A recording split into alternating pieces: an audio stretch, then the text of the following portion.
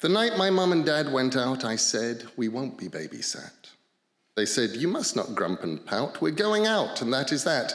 We planned a quite exciting night. At first, we'll dine by candlelight, then watch a most instructive show in which we'll learn how flowers grow. You have to promise to behave. Then from the hall there came a pitter thump. We know you'll both be brave. Say hello to your babysitter. His hair was grey. His face was scarred. Right leg a peg, left hand a hook. He grinned a grin and said, My card. it read, Long John McRon, ship's cook. My mum and dad said, Time to run, Mr. McRon is going to feed you. Long John said, Mateys, you have fun, and we will call you if we need you, which we will not. So off they zoomed.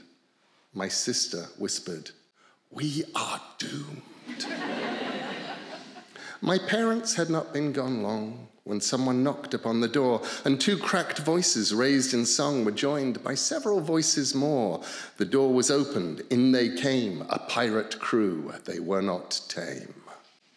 Now, one was fat and one was thin, one had a hanky on her head, one played upon the violin, fifteen bad men upon a dead man's chest, and such like pirate ditties. My sister said, Excuse me, when is dinner? Coming soon, my pretties, replied a pirate queen. So then the pirates headed for the fridge and gazed inside with puzzled looks. Some of the pirates scratched their heads, some of the pirates sucked their hooks. It's difficult to choose, said one. Impossible, began another. We have to feed 'em, Long John said. I told their father and their mother. We pirates always keeps our word. At this, each pirate nodded head, and so they thoughtfully conferred. Are beans on toast? No beans, no bread. Or scrambled eggs? Too complicated. Spaghetti looks like worms, one said. Old Long John thought he hesitated. He said, Me hearties, this is true. We ought to do what pirates do. We ought to make a pirate stew.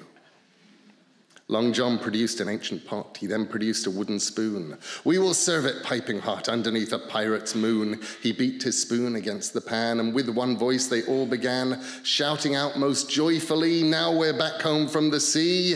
Pirate stew!